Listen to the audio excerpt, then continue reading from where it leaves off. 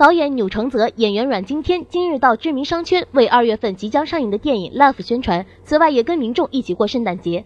阮经天被问到因扁平足申请服替代役引发争议时，小天再度澄清，扁平足不是自己想申请就能申请，这是要国家判定你的体位跟每个人都一样体检。一旁的豆导立刻帮小天喊冤。我必须要讲啊，其实小天很期待当兵。其实早在我们认识这两三年互动比较频繁的时候，他常常在讲的说，他觉得当兵这件事情就是绝对不应该逃避，而且他觉得这会对他而言是一个很好的人生经验。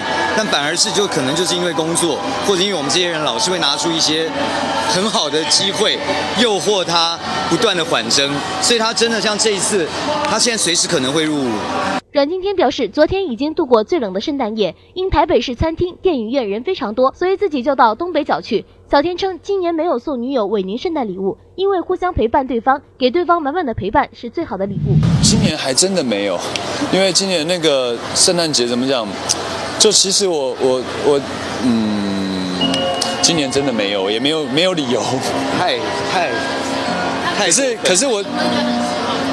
没有，可是我们都有，我们都有互相陪伴对方啊。我觉得其实给对方满满的陪伴，我觉得是最好的礼物。因为平常大家工作都蛮忙的，你真的要过节能够两个人在一起，其实真的蛮难的。